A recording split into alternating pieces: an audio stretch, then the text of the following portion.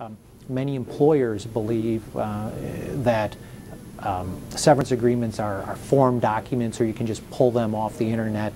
Uh, far from it. They're complex documents and need to be carefully drafted if you want a final deal. The last thing anyone wants is to think you have a final deal and end up in court.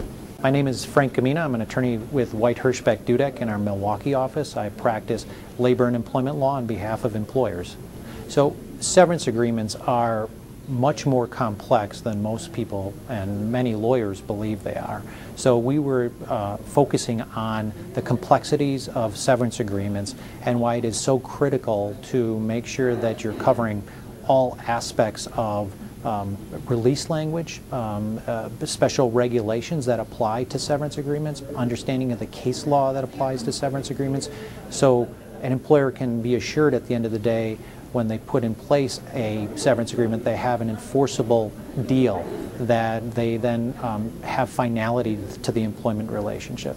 If a, a severance agreement is not properly drafted, it in and of itself can create litigation. Uh, claims can be filed against the employer, uh, especially age discrimination claims if the provisions of the Older Worker Benefit Protection Act have not been met.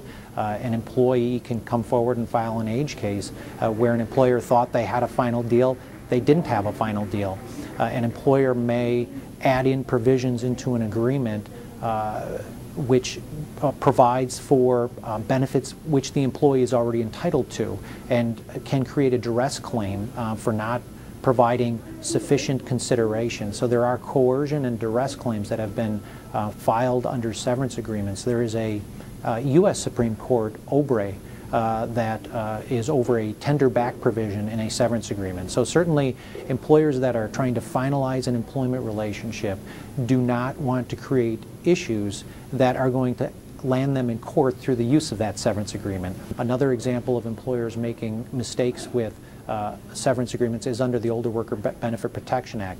Many lawyers know some of the basic rules, the 21-day consideration period, the seven-day revocation period, but when you're offering a program to a group of employees, two or more employees, there are special rules that apply. There are special EEOC regulations. You have to attach workforce demographic data and provide all sorts of descriptions.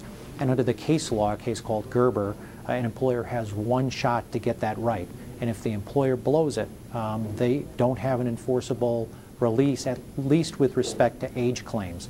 So there are many pitfalls that exist with severance agreements, and it's critical that employers um, know uh, to use a, an appropriate agreement for the right circumstances. There are some resources out there. Certainly, um, the EEOC has some guidelines with respect to enforceable agreements, uh, in, with respect to uh, those individuals who are 40 years of age or older. So exactly what's required under the Older Worker Benefit Protection Act.